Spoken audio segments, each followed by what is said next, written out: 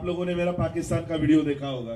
वहाँ पर भी मैंने कहा कि आरएसएस इंडिया का टेररिस्ट ऑर्गेनाइजेशन टेररिस्ट ऑर्गेनाइजेशन ये हैं भारतीय संविधान के रचयिता डॉक्टर भीमराव अंबेडकर के परपोते उसको बैन करवाओ। और मेरे पास सबूत है प्राइम मिनिस्टर नरेंद्र मोदी जी के बगल में एक साध्वी बैठी है।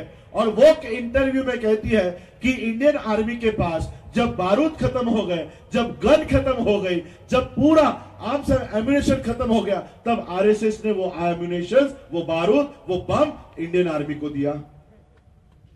इसका मतलब आरएसएस के पास इतना बॉम्ब कहाँ पर है? इतना दारू गोला कहाँ से आया? इतने गोलियाँ कहाँ से आई? इतने बंदूकें कहाँ से आए?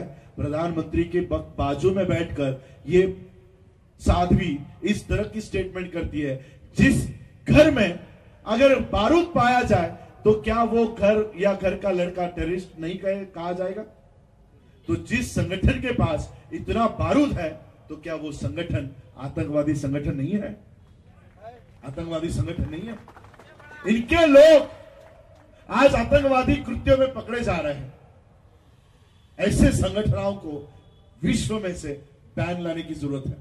बैन लाने की ज़रूरत है। ताज़ा अपडेट्स के लिए अर्थ प्रकाश टीवी को सब्सक्राइब करें और बेल आइकन को प्रेस करें।